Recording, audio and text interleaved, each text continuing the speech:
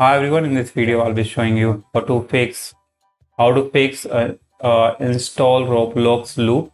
So if you are uh, if the Roblox is installing on your PC or on your mobile uh, in a loop, then how can you fix it?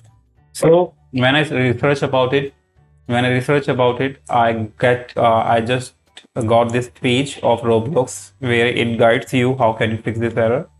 So the infinite getting latest Roblox loop is typically something uh, that happens when Roblox isn't installed properly. To, to fix this, you please follow the uh, help articles uh, uh, on first uninstalling and then reinstalling. So basically, you have to uninstall the Roblox application first and then reinstall the application. So if you don't know how to uninstall it on PC, on mobile it's very straightforward. Just hold the app uh, icon and uninstall the application. But on PC, if you don't know how to do that, just go to in control panel, search for control panel and click on this uninstall program. Now you will see here this Roblox player.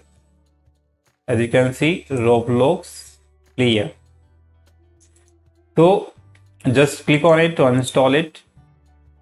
Once you have to install it, so you can uh, search for Roblox player or to install Roblox player, you just need to open any game, click on any game and click on play button.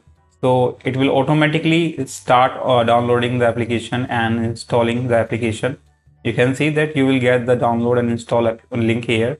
So you can directly download from here so i'm not downloading because i have already installed it so once you uh, install your application if you're trying to open it usually it gets uh, so resolved after installing the application